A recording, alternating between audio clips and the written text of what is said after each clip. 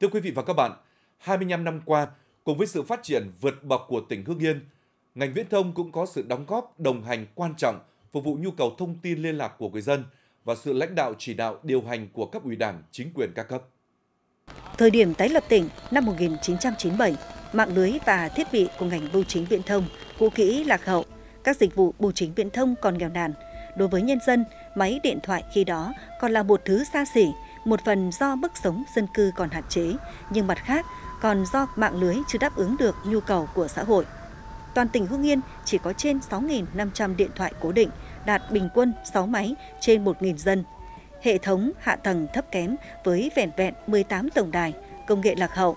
Cùng với sự phát triển của công nghệ và nhu cầu thông tin liên lạc thiết yếu của nhân dân, lĩnh vực viễn thông liên tục có sự phát triển bùng nổ với tốc độ tăng trưởng trung bình trên 30% mỗi năm, trở thành một trong những ngành nghề hấp dẫn hàng đầu.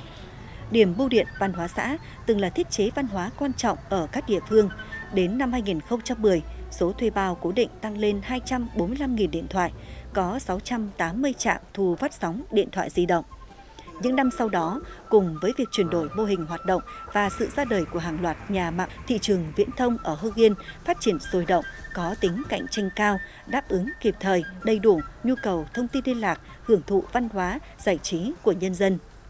Hưng Yên hiện không còn điểm lõm sóng di động. Tổng số có trên 1,3 triệu thuê bao di động, trên 900.000 thuê bao Internet. Doanh thu năm 2021 của các doanh nghiệp viễn thông ở Hưng Yên ước đạt trên 1.000 tỷ đồng, nộp ngân sách trên 100 tỷ đồng.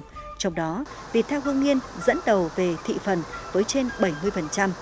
Dịch vụ viễn thông Internet đã đáp ứng tiêu chí xây dựng nông thôn mới, giúp tỉnh Hưng Yên sớm về đích nông thôn mới thứ ba cả nước trên 270 điểm cầu truyền hình trực tuyến được lắp đặt đến tận tuyến xã, phục vụ sự lãnh đạo chỉ đạo điều hành thông suốt từ trung ương đến địa phương, nhất là phục vụ hiệu quả công tác phòng chống dịch COVID-19.